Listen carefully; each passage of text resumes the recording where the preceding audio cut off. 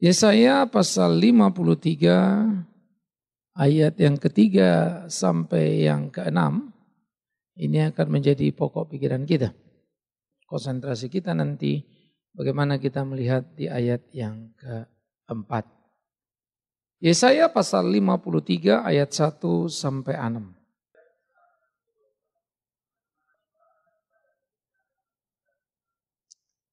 Pada waktu Yesaya mengungkapkan di dalam pasal 53, bagaimana gambaran Kristus yang tidak mengenakan, yang tidak ingin dipandang oleh siapa pun, pasti jauh dari gambaran yang kita pahami selama ini. Yesus yang amat sangat menyenangkan dan luar biasa. Tetapi Yesaya telah mengungkapkan satu kata, bahwa tidak satu orang pun di antara kita yang menginginkannya. Karena itu patut dipertanyakan, kalau gereja masa kini, kalau orang Kristen masa kini berkata Yesus Tuhannya, dalam konteks apa? Catatannya saya menggugat kita, mengingatkan kita betapa sejatinya kita adalah orang yang menolak dia. Yang tidak pernah kagum dan tidak pernah bersyukur akan dia. Dan kita tidak menghitung dia. Memang itu yang menjadi fakta aktual. Andai kata umpama dia datang hari ini lagi di dalam dunia. Maka pengulangan akan terjadi sama. Semua orang akan berbondong-bondong datang kepada dia. Karena dia membuat lima roti dua ikan cukup untuk lima ribu orang. Semua orang akan datang bersyukur kepada dia. Karena dia menyembuhkan sakit penyakit yang lumpuh berjalan, yang buta melihat, yang tuli mendengar. Namun semua akan berbalik badan dan meninggalkan dia. Karena dia menuju bukit Golgota dan tersalib penuh dengan luka. Catatan itu tidak akan pernah bisa berubah. Saudara. Hakikat pergumulan keberdosaan manusia telah membawa kita kepada jebakan yang mengerikan. Bersyukurlah yang mengampuni dosa dan memberi kita peluang untuk hidup benar di dalam dia dan karena dia. Oleh karena itu sekali lagi apa yang dikatakan Yesaya. Membuat kita tidak punya keinginan untuk memandang kepada Kristus karena tidak ada yang patut dipertimbangkan darinya. Kecuali dia produktif untuk memenuhi seluruh keinginan kita dan itulah kejahatan agama. Karena agama selalu berharap Tuhan memenuhi apa yang saya inginkan. Tetapi tidak pernah bergairah untuk memenuhi apa yang Tuhan perintahkan. Kejahatan orang Kristen pun di tempat yang sama. Kegagalan kita pun menjadi orang percaya yang sejati ada di sana. Dan saya pikir ini harus menjadi koreksi kepada kita sebagai gereja. Sehingga kita perlu berhati-hati. Kemenangan di atas salib dan bagaimana kemenangan atas sakit penyakit itu diungkapkan. Oleh karena itu dia dihindari penuh kesengsaraan orang yang biasa menderita kesakitan. Dia sangat dihina sehingga orang menutup mukanya terhadap dia dan bagi kita dia tidak masuk hitungan. Karena itu ketika dia berkata kalau kau mau ikut aku sangkal dirimu pikul salibmu dan ikut aku. Tidak banyak yang mengikut dia. Karena tidak enak tawarannya. Andai kata dia menawarkan ikut aku, hai kau yang miskin akan jadi kaya, hai kau yang sakit akan jadi sembuh, akan panjang antriannya. Sayang, tawarannya tidak menyenangkan. Ikut aku, sangkal dirimu, pikul salibmu. Oleh karena itulah pergumulan yang membutuhkan kejujuran dalam hidup kita sebagai orang beriman. Harus terus kita gumuli dalam kesarian kita. Ia tersisihkan, dia terpinggirkan. Padahal penyakit kita lah yang ditanggungnya. Dan kesengsaraan kita yang dipikulnya. Padahal kita mengira dia kena tulah, dipukul dan ditindas salah. Padahal dia tertikam. Oleh karena apa? Pemberontakan kita. Dia remu oleh karena apa? Kejahatan kita. Dan apa yang kita dapat dari semuanya? Justru oleh karena itu kita mendapatkan keselamatan di dalam dia. Bilur-bilurnya membuat kita menjadi sembuh dari sakit penyakit kita. Menarik kalimat ini. Kalau Yesus mati di atas kayu salib, bilur-bilurnya menyembuhkan sakit kita lalu kita berkata, bilur-bilurnya sudah menyembuhkan sakitmu. Hai yang lumpuh jalanlah. Saya kira kita orang Kristen yang paling miskin memahami itu. Karena jauh sebelum ada peristiwa salib, sudah ada peristiwa kesembuhan. Naman sembuh dari kusta. Bilur Yesus belum tumpah di kayu salib. Tidak ada korelasi antara sakit penyakit kita dengan istilah itu. Nah sehingga istilah sakit penyakit harus kita memahami dalam dimensi yang paling dalam. Karena itu kita mesti menggali kebenaran dan mengerti. Sehingga tidak mendowngrade kebenaran lalu sekedar hanya untuk memuaskan keinginan sembuh dari sakit penyakit tadi. Lalu kalimat ini terlalu sering bukan?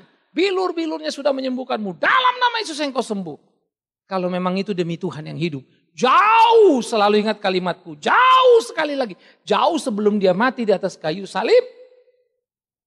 Elisa menyuruh Naaman mencemplungkan diri tujuh kali di sungai Yordan itu dan sembuh dari kustanya. Elia berdoa dan anak janda miskin yang sudah mati itu hidup kembali. Sebelum ada peristiwa salib. Ada banyak peristiwa mujizat terjadi, saudaraku.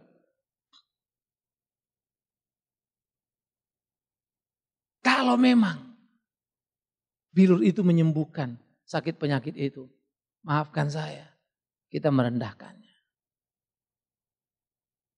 Oleh karena itu saudara, justru bilur itu akan memberi kepada kita nilai sembuh dari penyakit yang sesungguhnya membuat kita menanggung segala perkara.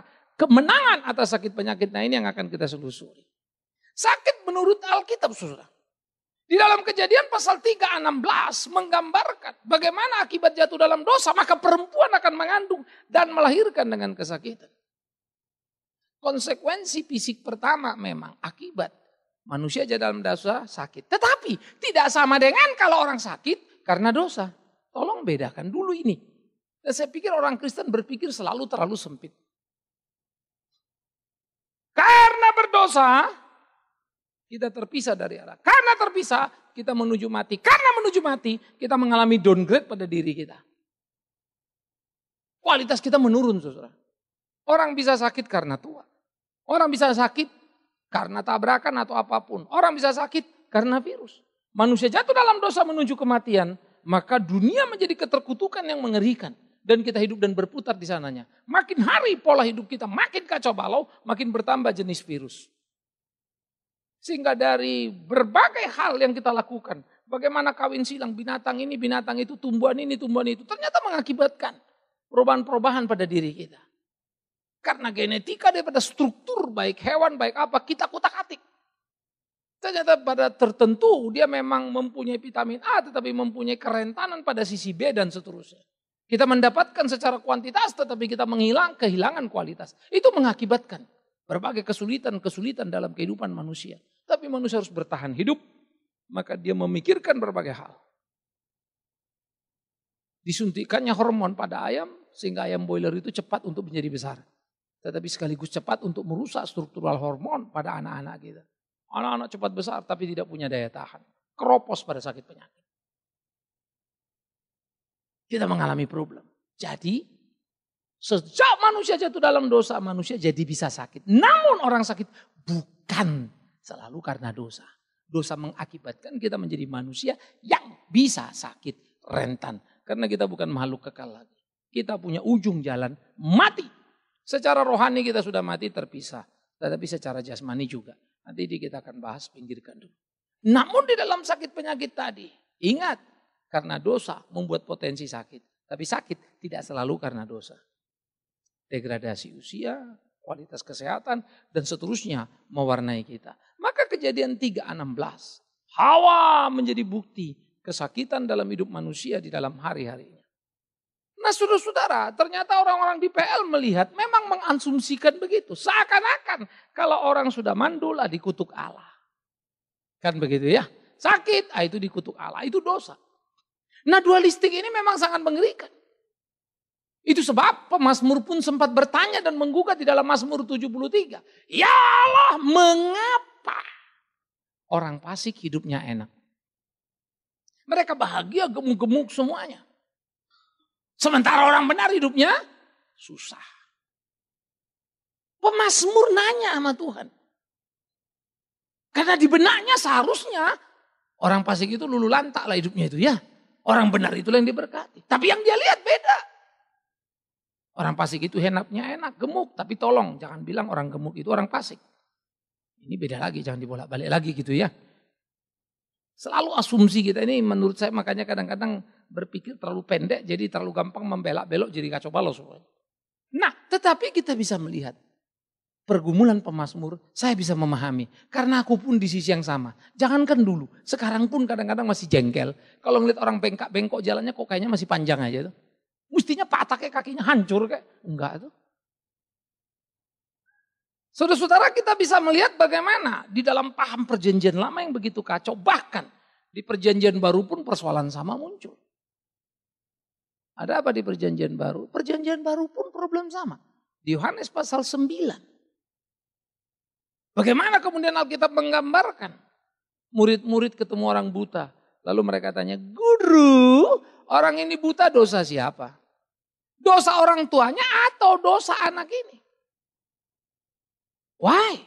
Karena benak mereka sudah dipenuhi oleh satu paham yang salah. Kalau orang sakit pasti dosa. Tapi masalahnya sekarang, ini sakit sejak lahir. Bapak emaknya yang dosa atau memang anak ini pendosa? Kalimat Yesus menggugurkan seluruh pandangan itu.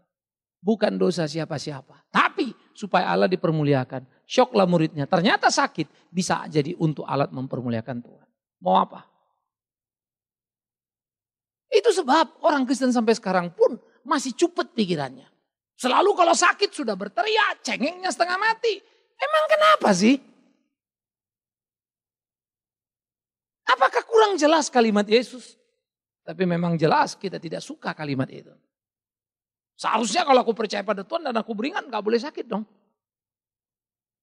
Karena kita pikir Yesus kan sudah menang atas dosa, jadi menang atas sakit. Iya, tapi tidak sama dengan kau tidak sakit. Itu konsekuensi dosa yang tidak bisa hilang selama kita tinggal di kolong langit ini.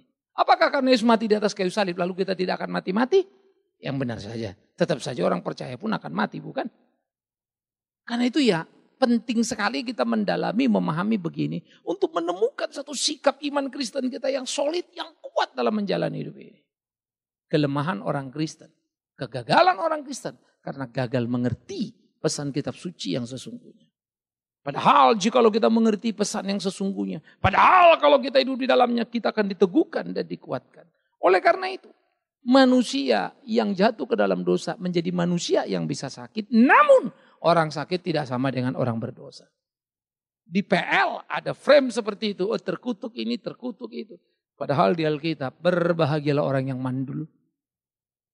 Berbahagialah mereka yang tidak punya suami. Mereka akan diberkati hidupnya. Wah berita perjanjian baru mencungkir balikkan seluruh ide dan pemikiran manusia di PL. Jadi hati-hati terhadap prasoposisi yang muncul pada tiap umat. Ingat pemasmur saja pun kecelek. Lalu Mazmur 73 menggambarkan. Kenapa hidup mereka enak? Kenapa hidup mereka senangnya setengah mati? Orang-orang pasik itu. Tapi Tuhan bilang apa? Memang hidup mereka enak. Dan keenakan itu akan membunuh mereka. Saya kadang-kadang pikir ya kalau baca, memang sih banyak orang yang kemudian saking fasiknya jaya raya hebat, tapi kejayaannya lah menghancurkan dia. Banyak orang mengumpulkan hartanya dengan cara tidak benar, kekayaannya itulah hancur keluarganya. Cara tangan Tuhan menghukum itu menakutkan memang. Cuma kan kita nunggu hukumannya lama amat kagak sabar ya. Kadang-kala kita udah mati baru orang itu masalah. Lebih nyesek lagi kan. Padahal kita pengen melihat orang itu dihukum. Karena naluri keberdosaan kita selalu suka melihat orang teraniaya. Asal bukan kita. Tidak mudah saudaraku. Untuk bagaimana kita menemukan perilaku yang tepat yang sesuai kehendak Tuhan. Tidak mudah.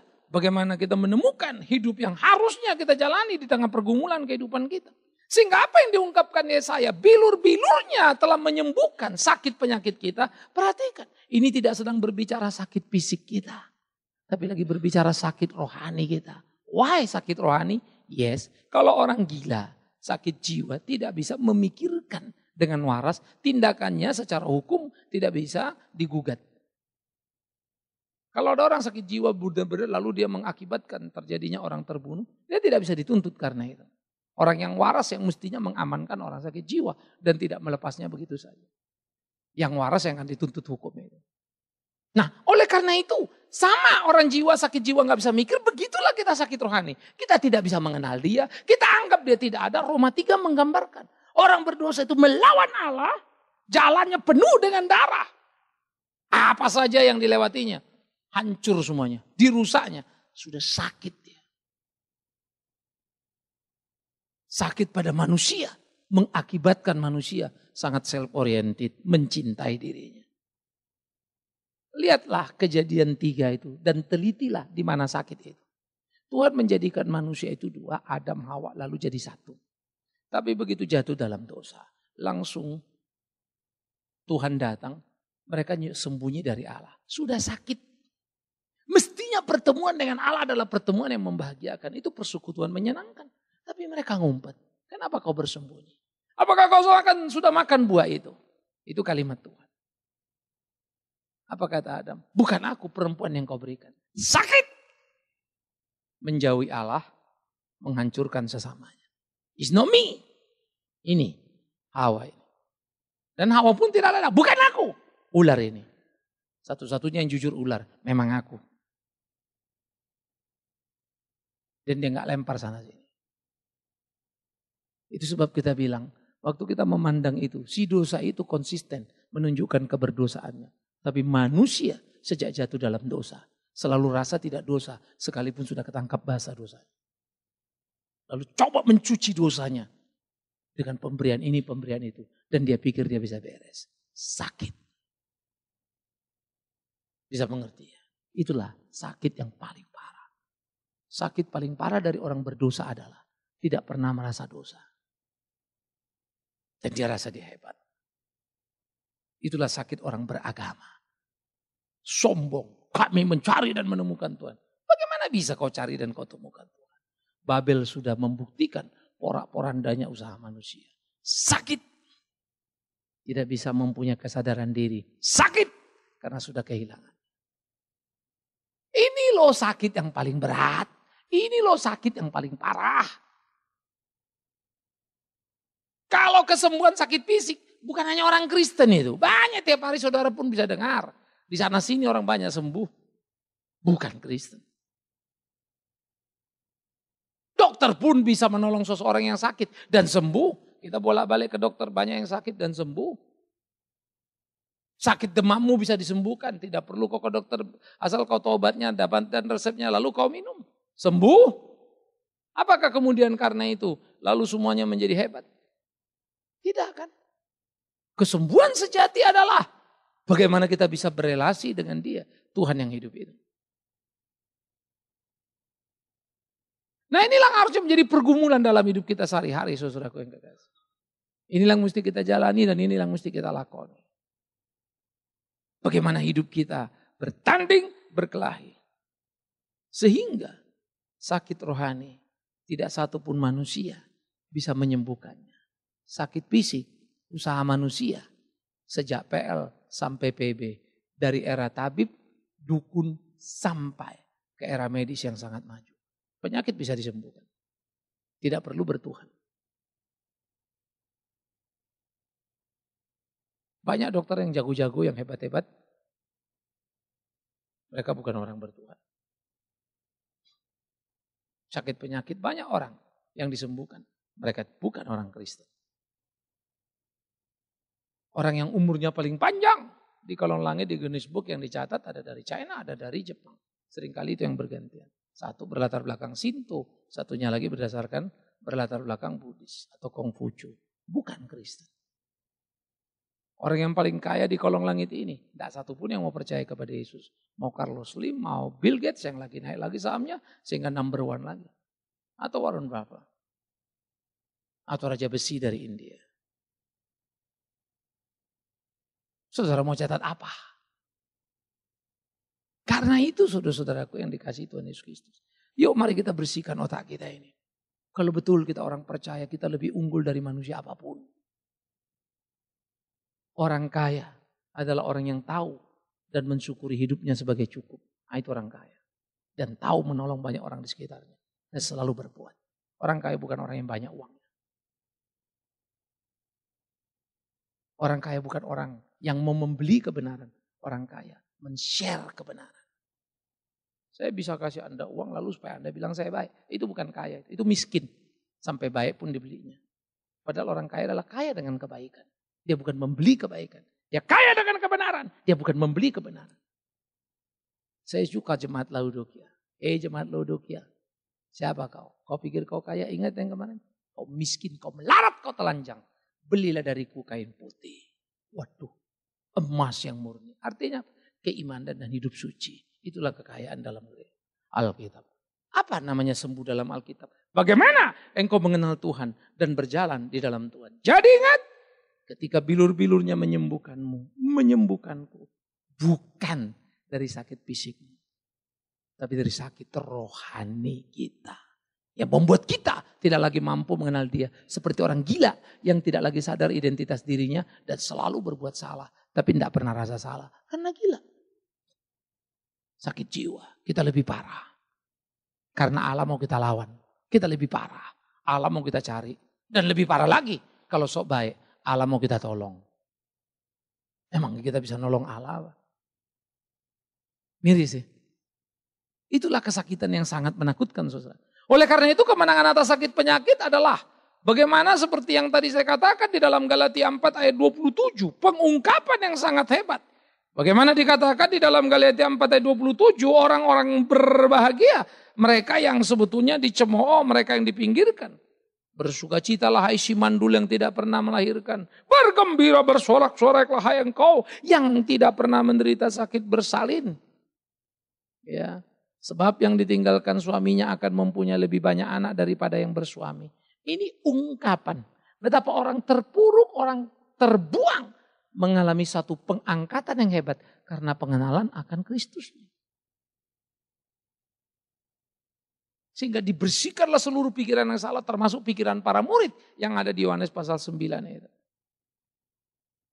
Oleh karena itu ketika Petrus pun mengungkapkan dengan mengutip apa yang dikatakan Yesaya tentang bilur-bilur yang sudah disembuhkan. Dia menekankan kita dulu sama sesat seperti domba. Tekanan itu yang diabaikan, sakit penyakitnya yang ditekankan, maka muncullah kekacauan dalam tafsir. Padahal mestinya kita melihat bukan soal sakit penyakitnya, kesesatan. Dia sendiri telah memikul dosa kita dalam tubuhnya. Di kayu salib. Perhatikan, ia sendiri telah memikul dosa kita di atas kayu salib supaya kita yang telah mati terhadap dosa hidup untuk kebenaran. Oleh bilur-bilurnya kamu telah sembuh. Hei kita yang dulu sesat seperti domba. Sekarang telah kembali kepada gembala pemelihara jiwamu. Kau sudah sembuh. Dulu waktu kau sakit, kau lari pada setan itu. Waktu sakit kau lawan alamu. Tapi kau sekarang sudah sembuh. Kembali kepada gembalamu. Sayang sampai bawa orang tidak mau baca comot. Bilur-bilurnya telah sembuh. Bilur-bilurnya. Ah, udah itu aja lah yang kita kumandangkan. Maafkan saya kalau saya katakan jangan downgrade Alkitab itu. Jangan turunkan nilainya. Oleh karena itu saudara-saudaraku yang dikasih oleh Tuhan Yesus Kristus. Menjadi amat sangat menarik ketika kita sudah disembuhkan secara total oleh salib. Membuat kita kembali kepada pengenalan yang penuh. Siapa sebetulnya kita. Domba yang sesat telah kembali kepada gembala. Sehingga dari self-oriented menjadi God-oriented. Sekarang kita tidak lagi berpusat pada diri. Tapi berpusat pada Allah. Saya suka ketika Tuhan mengatakan kesimpulan dari hukum Taurat dan kitab para nabi adalah Kasihlah Tuhan Allahmu dengan segenap hatimu, jiwamu, akal budimu, dan kekuatan. Bagaimana bisa? Hanya satu, sangkal dirimu, baru kau bisa mengasihi dia. Tanpa menyangkal diri, omong kosong yang kau bisa mengasihi dia. Seribu kata boleh kita ucapkan, saya ngasih itu, saya terserah. Tetapi kasih itu akan tampaknya di kemampuan kekuatan yang diberikannya. Pengabaian kita terhadap diri kita. Karena bukan lagi self-oriented, sekarang sudah menjadi God oriented. Nah, yang menjadi lebih menarik lagi, bagaimana kemudian di dalam diri kita, kita melakukan apa yang menjadi kehendak Tuhan. Bagaimana kita menemukan nilai-nilai di dalam hidup keimanan kita tadi. Dan bagaimana kita menjalani hari-hari kita untuk kemuliaan Tuhan tadi. Kristus yang telah tersalib di atas kayu salib telah menolong kita. Ia sudah menyembuhkan kita dari cinta diri kepada cinta akan dia. Tapi tidak mungkin cinta akan dia jikalau kita tidak menyangkal diri kita. Kasihlah sesama manusia seperti dirimu sendiri. Dan tidak mungkin engkau bisa mencintai dirimu sendiri sebelum engkau mencintai Allah itu. Dan tidak mungkin engkau bisa mencintai sesamamu dengan ukuran diri tadi. Kalau kau tidak tahu artinya mencintai dirimu. Semua kita adalah orang-orang jahat yang tidak pernah mencintai diri kita. Oh Pak, saya sangat cinta diri. No, salah kau mencintai dirimu. Sekarang kalau saya tanya, apakah engkau ingin jadi orang terhina? Semua tidak mau. Tapi kelakuanmu membuat engkau terhina kan? Kalau orang hina kamu kan karena kelakuanmu. Kenapa kalau kau cinta dirimu, jangan dong mau dirimu dihina. Sehingga kelakuanmu jadi benar. Kan simpel sebetulnya. Di hidup ini banyak orang yang kita tidak suka. Kenapa? Karena kita tidak mampu menghargai diri kita supaya disukai orang. Maka kelakuan kita banyak macam-macam. Coba kita berpikir terbalik ya. Kita hina diri kita dengan banyak musuh kita. Kita hina diri kita dengan banyak orang curiga pada kita. Kita hina diri kita dengan orang tidak menghargai kita. Waktu kau tidak dihargai orang ingat, itu karena kau menghina dirimu. Ya. Saya tidak rela dihina orang. Karena itu saya belajar menghargai orang supaya orang jangan harga apa hina saya. Saya belajar menghargai diri saya. Saya buat diri saya jadi bernilai. Kalau saudara bodoh dikasih tahu bolak-balik tapi dablek aja begitu ya. Orang bilang apa? Ah, payah bodoh ini. Udah jangan kasih kesempatan pada dia. Lalu kita marah. Saya kok dia nggak dikasih kesempatan? Yang bikin itu kan kamu. Kalau saja kau buat dirimu berharga, pasti kau dikasih kesempatan. Caranya apa? Ya hargailah dirimu dengan membuatnya berharga. Kan begitu. Masa kamu suruh orang menghargai tapi kamu tidak ada harganya. Wow. Saya suka dengan kekristenan. Nah, kalau memikirkannya secara filosofi saya terkagum-kagum. Tidak ada pikiran seperti ini di kolong langit ini. Kristen itu original. Karena ada standpointnya, terus mau ke mana perginya. Banyak pikiran yang hebat mengambang tapi apa dasarnya? Tidak ketemu. Karena dasarnya selalu keinginan manusia. Padahal manusia tidak berharga ya karena keinginannya kan tidak berharga kan. Sampai jumpa lita juga gimana mau bereskan keinginan ini. Hanya satu, darah Kristus. Kristen punya jawaban. Bilur-bilurnya sudah menyembuhkan. Oleh karena itu saudara-saudara yang kekasih, di dalam satu Petrus pasal yang ke-12 ayat 7 sampai 10 dikatakan begini. Dan supaya aku jangan meninggikan diri karena penyataan-penyataan yang luar biasa itu, maka aku diberi suatu duri di dalam dagingku, yaitu seorang utusan iblis yang mengocok aku, supaya aku jangan meninggikan diri. Tentang hal itu aku sudah tiga kali berseru kepada Tuhan, supaya utusan iblis itu mundur daripadaku. Tetapi jawab Tuhan kepadaku, cukuplah kasih karuniaku bagimu. Sebab justru dalam kelemahan kuasaku menjadi sempurna. Sebab itu terlebih suka aku bermegah atas kelemahanku. Supaya kuasa Kristus turun menaungi aku. Saudara, Paulus melihat kemuliaan surga. Karena hal itu, Tuhan menaruh duri padanya. Ada macam-macam tafsir katanya matanya itu makin hari makin keluar, macam-macam. Tetapi itu adalah satu sakit yang sangat menyakitkan.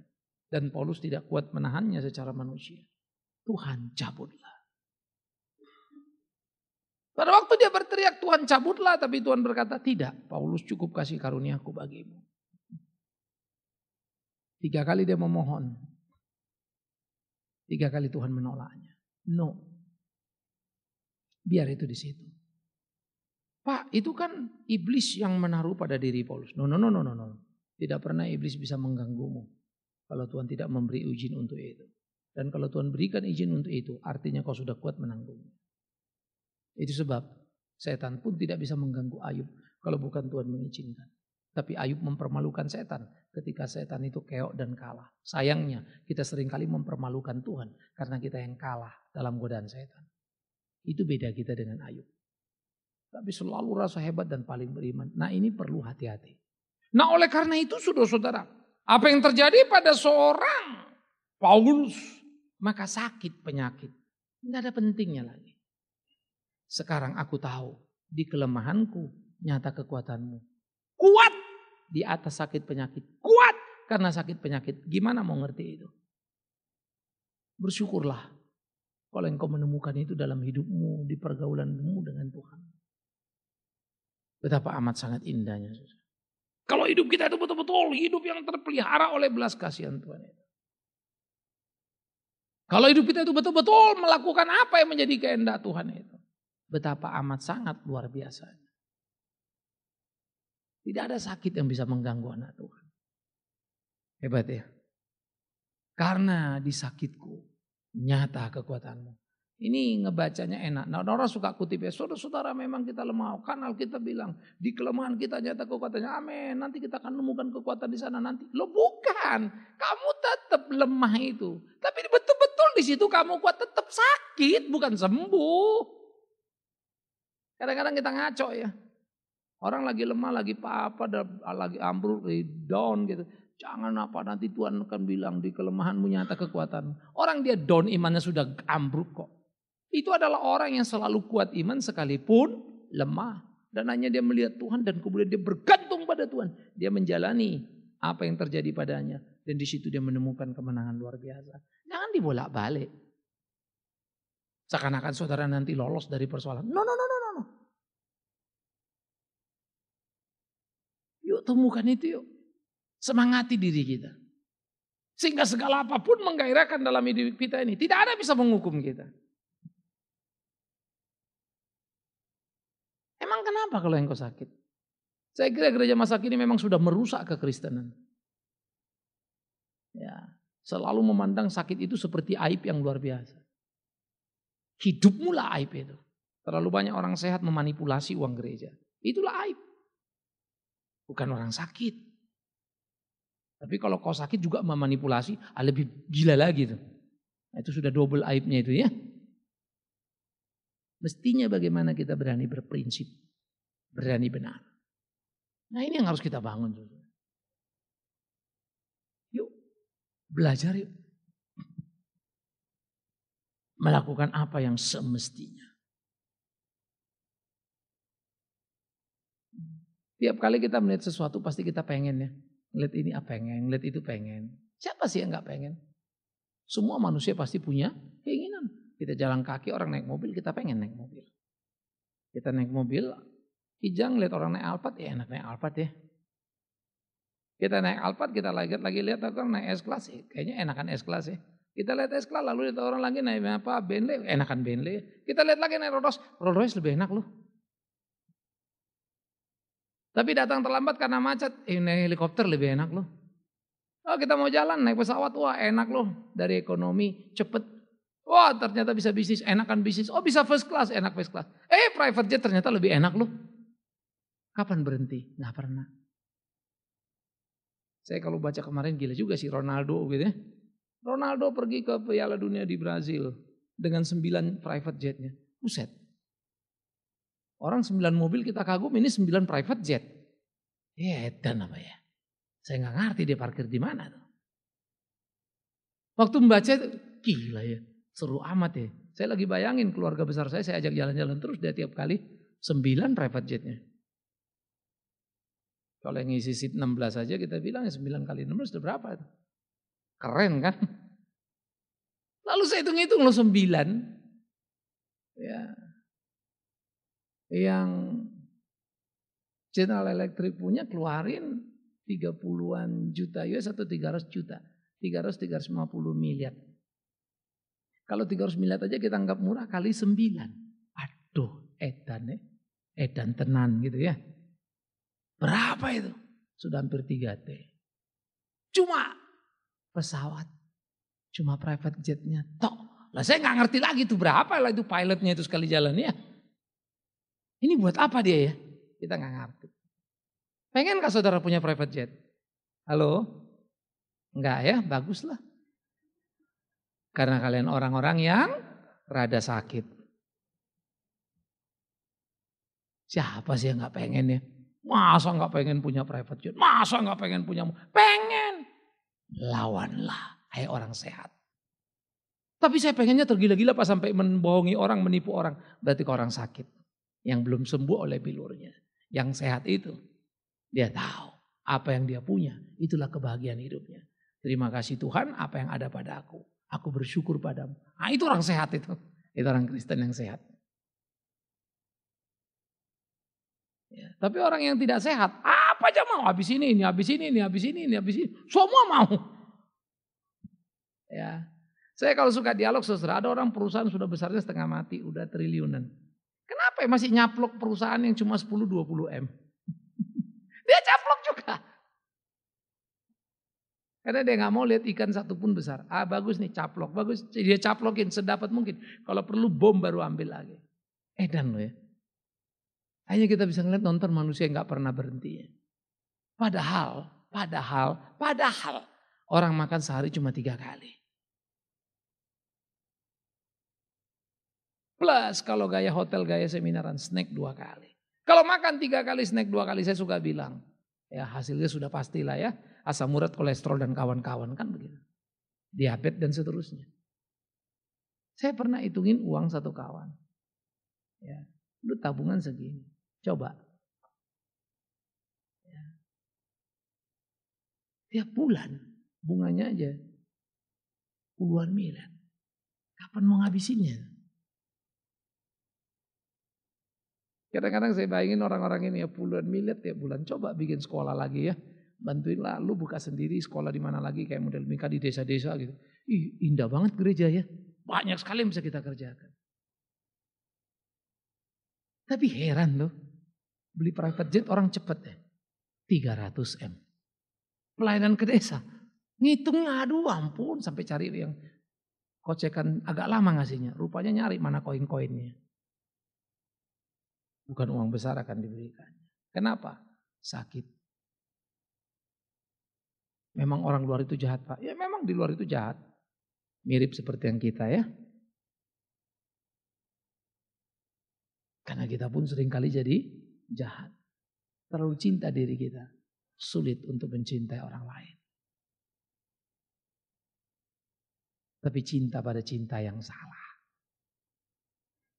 Yuk mari kita pikirkan. Membuat hidup kita itu bernilai tinggi saudara. Ayolah berkelahi. Hadapi hidup ini. Dan jangan pernah lari. Oleh karena itu. Sakit bisa jadi alat Tuhan? Yes. Kemenangan atas salju salib. Membuat sakit itu kita yang jaga. Hei sakit penyakit. Datang kau ke hidupku ini. Tapi hidupku bergantung pada Kristus Tuhanku dan satu. Tidak ada sakit boleh mengalahkan kita. Paulus telah mengalahkan itu dalam bentuk yang menarik. Ketika dia sakit, dia tetap melayani. Ketika dia sakit, dia tetap berbahagia. Kalau engkau sedang sakit apa pun ponis dokter, kenapa engkau harus gunda gulana? Kalau dokter memponismu maaf bapak, maaf ibu, ibu bapak tinggal satu tahun ini, tinggal dua bulan. Bagus dikasih tahu. Ah, dua bulan itu kerjakan sebisa-bisanya. Apa yang bisa kau kerjakan melayani Tuhan? Masih ada waktu. Dua tahun. Masih ada waktu. Dua bulan. Garap itu. Ya, Saya makin hari makin bersyukur untuk apa problem jantung saya. Ya. Karena makin hari makin saya pahami bagaimana saya harus mengukur diri. Bagaimana saya harus melihat sendiri sejauh mana keimananku dan kegairahanku melayani Tuhanku.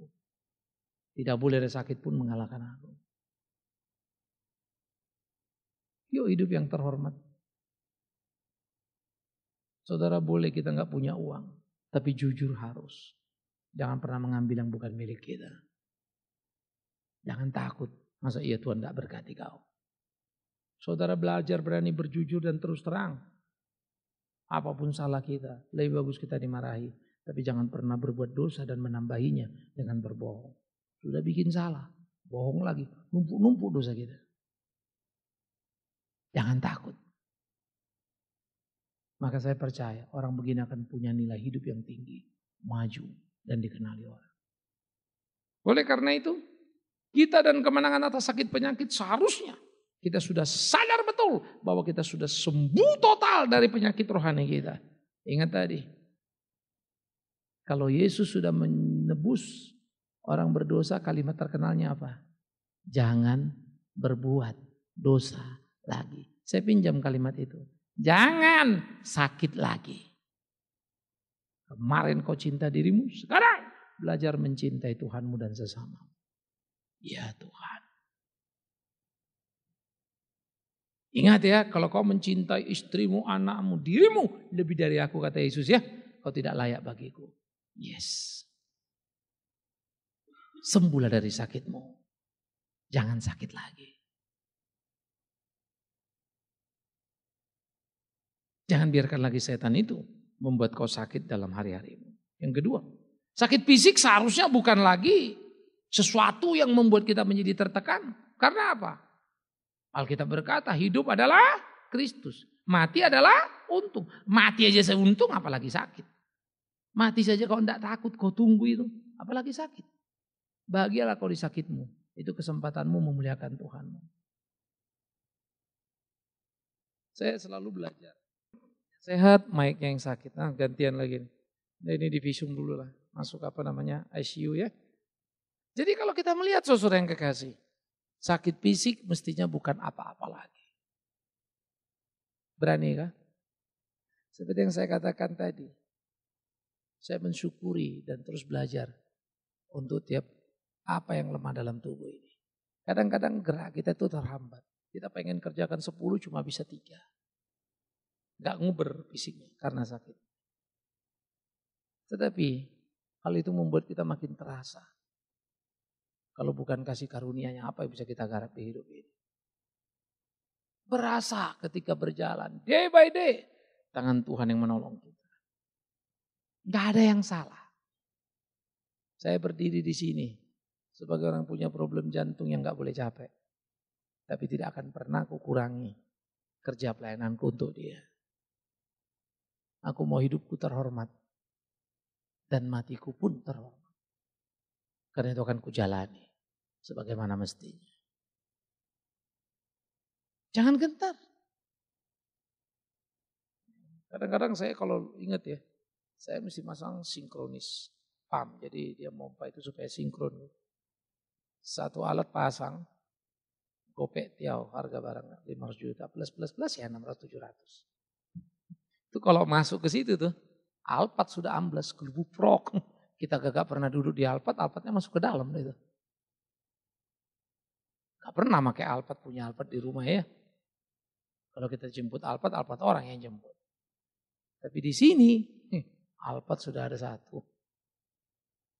Saya nggak tahu, dokternya bilang waktu itu sih nggak terlalu penting. 2009, maybe one day, wah pastor mesti pasang. Mungkin ya, mungkin juga tidak, saya nggak tahu. Tapi kalau mikir itu, waduh, waduh, waduh. Itu sih 600 waktu itu kurs belum separah sekarang. US itu di 8 ribu sekian, di bawah 9 ribuan. Nah kalau sekarang apa namanya bergembira ria kan US ya, karena Indonesia sangat rendah hati ya. Jadi semua naik melewati dia semua. Mahal dong Pak. Yes, emang kenapa? Waduh, kalau betul-betul nanti habis dong duit Pak. Emang kenapa? Apa kau pikir Tuhan tidak tahu yang terbaik buatku? Hah, pasti. Kalau terjadi pada waktunya, dia juga tahu apa yang mesti dilakukan. Yang ku tahu satu, harus kulakukan apa yang diperintahkannya. Ngapain ku ajarin Tuhan memelihara aku? Dia jauh lebih tahu siapa Bigman Sirait ya. Mana aku bisa lebih tahu dari dia? Ku jalani perintahnya. Bukankah aku berkata, hidup Kristus mati untung? Jangan munafik atuh. Bilang mati untung sakit teriak. Jalanin ya. Jadi jangan cengeng. Jalani hari-hari itu. Siasati bagaimana engkau tetap produktif. Mungkin tidak dengan fisik karena ini lemah itu lemah. Dengan tanganmu, dengan apa yang bisa kau lakukan. Mari kita hidup sebagai orang beriman yang merdeka di dalam Kristus. Karena tidak ada yang bisa mengganggu kita. Tidak keinginan kita lagi, tidak setan itu lagi. Karena kita sudah sembuh dari cinta diri yang crowded tadi. Cinta diri yang kronis itu. Kita tidak lagi cinta kepada diri, tapi cinta kepada dia. Karena darah salib telah membuat kita mampu menyangkal diri. Sudah menyembuhkan penyakit rohani yang parah itu. Kalau hidupku bukan aku tapi hidupku adalah untuk dia. Apalagi yang kutakutkan. Maka merdekalah. Layanilah dia. Secara operasional Mika masih kurang tiap bulan. Hanya dengan rutin sekarang. Tapi kita ambil lagi anak-anak dari Papua. Ini tambah berapa duit lagi. Tapi saya tidak peduli. Dulu toh pernah susah juga. Terus jalan. Saya berkelahi dengan kemurnian motivasi. Selama kita benar, pasti Tuhan tolong. Kalau Tuhan percayakan di tangan kita pekerjaan yang besar. Kenapa bodoh dan lari lalu berat? Aduh, terlalu berat. No, no, no, no, no. Ini bukan siapa kau dan berapa kuatnya kau. Tapi siapa Tuhan kita dan berapa belas kasihannya memampukan kita. Kemenangan di atas salib, kemenangan atas sakit penyakit. Selamat menikmati kesembuhanmu. Ya, untuk memastikannya nanti pergi ke lab masing-masing ya. Cek darah. Udah sembuh nggak ini dari penyakit rohani gitu ya. Cek ini, cek itu. Tapi labnya itu lab firman Tuhan ya. Bukan jangan pergi ke prodia. Ntar cek rohani saya udah sembuh belum? Waduh tuh. labnya bisa linglung nanti. Bapak pengantar dokternya siapa? Dokter Bigman. Eh bukan dokter aku eh. Kacau kita nanti kalian bikin ya. Tetapi bagaimana kita membaca Alkitab, saya yakin kita ngeliat, aduh ini masih sakitku ini, aduh eh masih banyak penyakitnya loh. Tuhan aku berdoa tolong. Makin hari makin berproses. Kesempurnaan itu jadi sempurna. Nyata. Jadi milik kita. Biarlah Tuhan menolong kita, memimpin kita. Menang atas sakit penyakit rohani. Yang membuat kita cinta diri. Dan biarlah sekarang kita belajar mencintai dia. Sakit fisik bukanlah masalah. Penghambat juga bukan. Kalau sakit tanganku, aku akan memakai kakiku berjalan memuliakan dia. Kalau buta mataku, mulutku tetap menyanyikan pujian untuk dia. Kalau aku menjadi bisu, akan ku ketik lagu dengan tanganku. Ku ketik kisah bagaimana hari-hariku. Tidak ada satupun kelemahan fisikku membuat aku berhenti memuliakan dia. Temukan seribu satu cara. Dan itulah cara saya mengapresiasi mereka-mereka yang kadang sudah tangannya kacau, badannya kacau. Dan melukis dengan mulutnya. Saya kagum orang seperti ini. Mereka menemukan, kita punya ini. Wah, dia melukis dengan mulutnya. Mengagumkan. Tuhan itu dahsyat. Tuhan itu luar biasa. Jangan pernah berhenti menikmati cintanya dengan hidup mencintai sesama. Kita berdoa. Kita ambil waktu teduh sejenak berdoa secara pribadi. Pikirkanlah. Sejauh mana kita telah sembuh dari sakit penyakit rohani kita. Sejauh mana kita hidup sesuai dengan kehendak Tuhan kita. Sejauh mana kita menjalani hari-hari kita. Berdoalah. Supaya kita boleh makin mengerti apa yang menjadi kehendak Tuhan dalam hidup ini. Bagaimana hidup kita berkenan kepadanya.